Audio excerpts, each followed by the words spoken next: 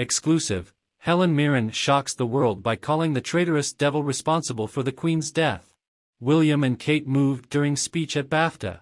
Hello, noble subjects and curious people from around the world.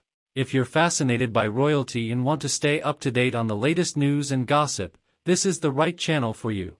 So, subscribe now to not miss any episodes and stay informed about everything happening in the world of royalty. At the prestigious event held at the Royal Festival Hall of the South Bank Centre in London, many celebrities attended to celebrate the film and television industry. But it was Helen Mirren's striking speech that stole the show.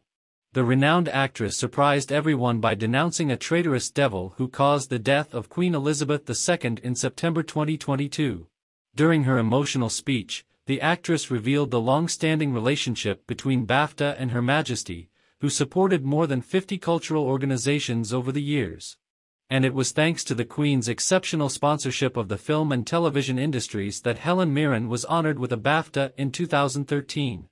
But the real revelation shocked everyone when Helen Mirren called the person responsible for the Queen's death a traitorous devil. William and Kate were visibly moved while the clip that was being played in support of Helen's speech featured the voice of Her Majesty. Don't miss this bombshell. Watch the full video now and find out who the traitorous devil responsible for the death of Queen Elizabeth II is. During her speech at the BAFTA, Helen Mirren moved everyone with inspiring words about the importance of art and culture.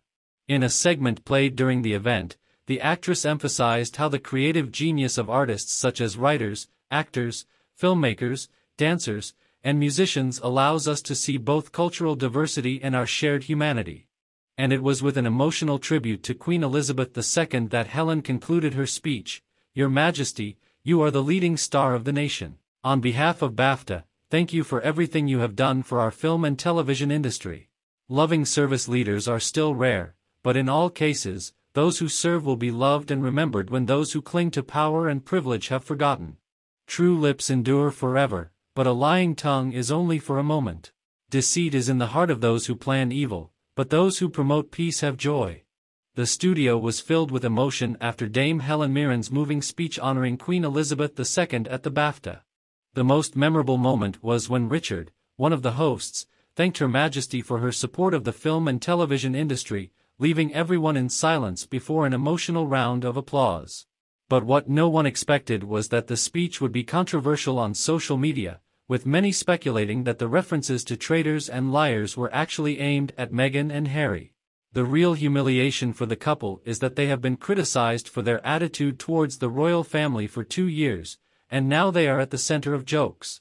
It's hard to imagine that Harry is not bitterly regretting his actions, especially after the tragic loss of his grandfather and grandmother. As the camera moves through the audience, we can see William and Kate applauding the speech with emotion and the surprise of the night was the presence of the Prince and Princess of Wales, who hadn't attended the event since 2020. The couple attended the ceremony and met with category winners and Rising Star Award nominees. The 2023 BAFTA was truly a night of intense emotions and unexpected twists.